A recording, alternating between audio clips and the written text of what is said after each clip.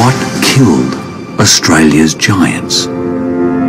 Stood about two metres tall at the shoulder, three and a half metres long, weighed over two tonnes. So it's about the size of your urban SUV.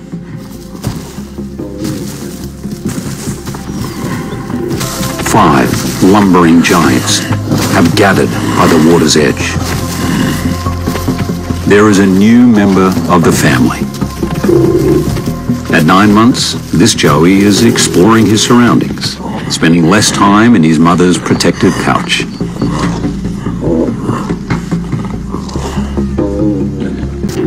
Diprotodons were widespread across much of Ice Age Australia.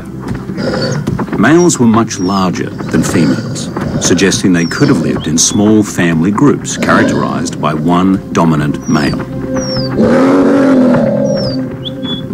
Their large nasal cavities might have been used to make deep, grunting calls. Like koalas today, low frequencies would have allowed them to maintain social communication over long distances.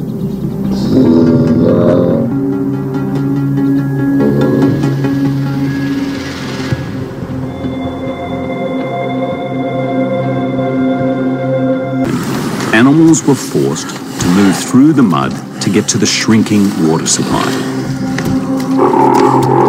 And the heavier the animal, the more likely it was to get trapped in a muddy grave.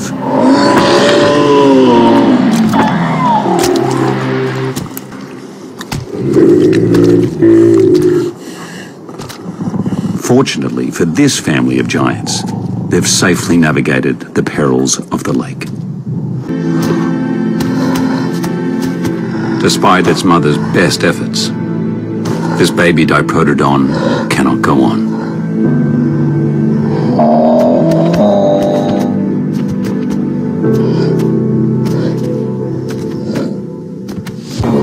And the megafauna are suddenly being confronted with all these changes. So watching him come up the creek and have a drink and maybe browsing, seeing this big animal, Marlag, grazing and drinking,